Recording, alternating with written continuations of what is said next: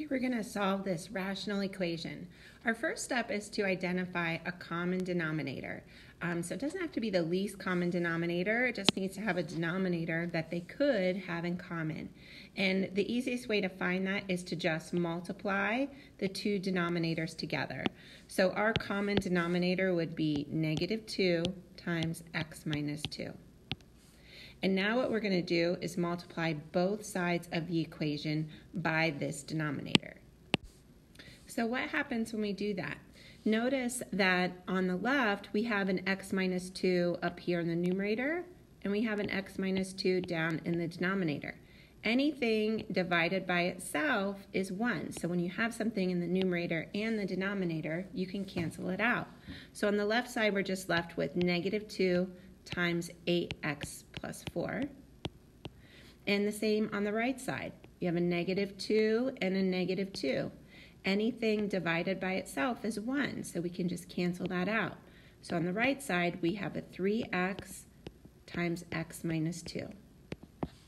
Now we're going to solve this. Now that we've we've kind of gotten rid of the fractions, this is more like a typical equation that you're used to. So before we start moving things around, it's good to always distribute. So let's distribute um, the negative 2 and the 3x. And make sure that you're paying special attention when you're multiplying x times x, then the answer is x squared. Now what we're going to do is move everything over to one side so it's set equal to 0. Then we can factor and solve using the zero product property. So let's move everything over to the right side. Now you could do this in two steps or in one step. I'm moving that pot that negative 16x by adding 16x and now I'm going to add 8 to both sides to move this minus 8. So I have a 0 equals 3x squared plus 10x plus 8. Now, since there is a coefficient in front of the x squared, this makes it a little trickier to solve by factoring. Uh, you could also solve using the quadratic formula. I'm going to go over the grouping method uh, to split this up so I can factor each group and get my answer. So remember when you're using the grouping method, you're looking for two numbers that multiply to give us whatever the first times the last number are. So multiply to give us positive 24 and also add to give us this middle coefficient.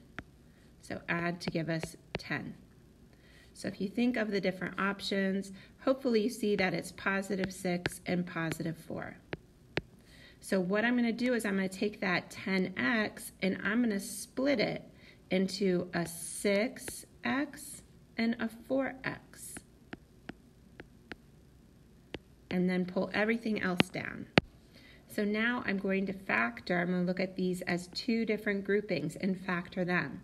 So if I look at the first grouping, I know I can divide them both by a 3, and they also both have an x. And when I do that, I end up with an x plus 2. In the second grouping, I can pull out a 4. I can divide them both by 4. And I'm also left with an x plus 2. All of that set equal to 0.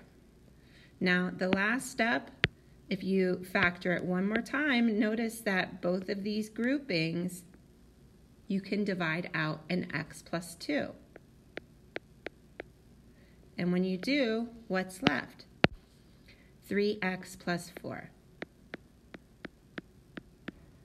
So if that's all set equal to zero, we've now factored. Our very last step is to use the zero product property.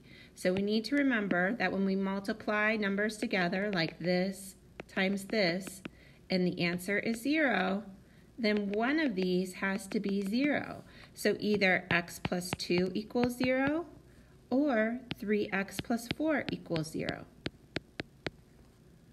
and then you just solve these two equations. So we see that either x equals negative 2 or x equals, when we divide by 3, we get x equals negative 4 thirds. So after all of that, here are our two answers.